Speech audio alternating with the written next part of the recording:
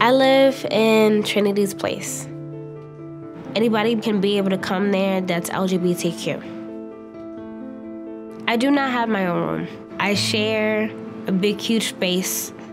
We have to wake up at 6.30, but we do have to leave by 8 o'clock in the morning. Every morning, um, I care for my grandmother. She has dementia. We have coffee and breakfast together. I live in Newark, New Jersey. I'm still there. I'm still living in the same house that I grew up in. I'm usually up and out of the bed by 5:30. My name is Tanya Daniels. I'm the program manager for Helen Keller International's ChildSight program here in New York. We target children or students that live below the poverty level. We are on target to screen a little over 30,000 students this year.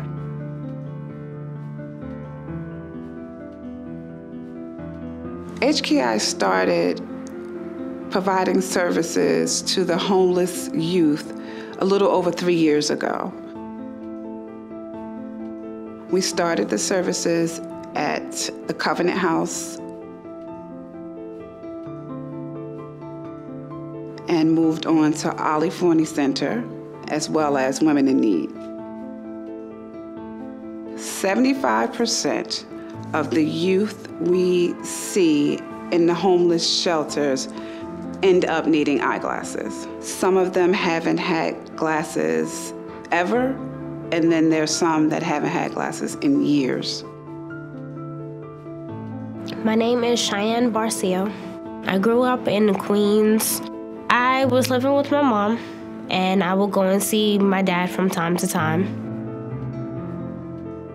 I got abused by my mother's boyfriend, and I went to foster care. They moved me far away from my family so that this way my mom wouldn't try and follow.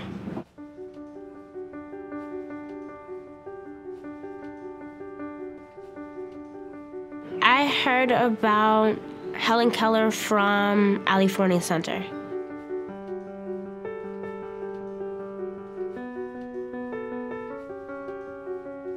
It felt like I could be able to breathe again.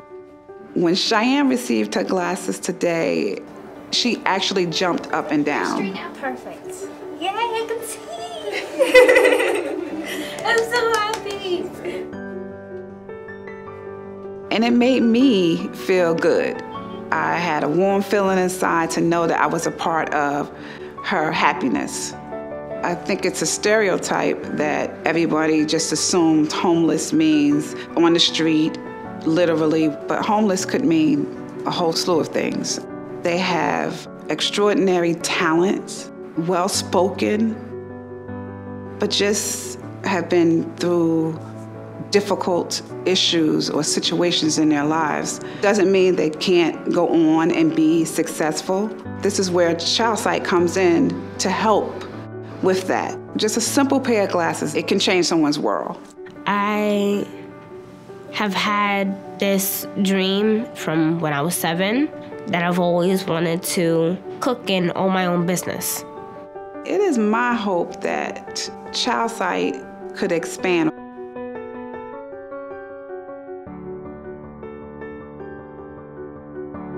I cannot imagine myself anywhere else other than HKI. It says a lot for the agency and my relationship with the people that I work with and what I do on a day to day basis. I like to take my long walk from 107th Street to 42nd Street and Times Square. I see a lot of friends here. It feels tremendously good to be able to see again. I feel like that it can be able to help me with anything and everything. I would like to have my own house one day, but I'm trying to do baby steps. I think that I will get there. I have I have, you know, the mindset that I will get there.